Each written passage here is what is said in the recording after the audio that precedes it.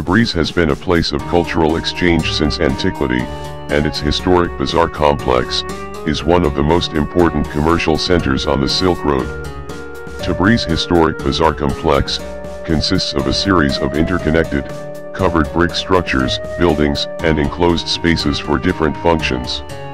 Tabriz and its bazaar were already prosperous and famous in the 13th century, when the town, in the province of eastern Azerbaijan, became the capital city of the Safavid kingdom. The city lost its status as capital in the 16th century, but remained important as a commercial hub, until the end of the 18th century, with the expansion of Ottoman power. It is one of the most complete examples of the traditional commercial and cultural system of Iran.